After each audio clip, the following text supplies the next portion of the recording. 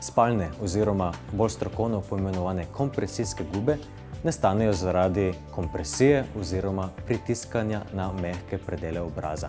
Ti mehke predele obraza se nahajajo v okolici oči in v nazolabijalni gubi.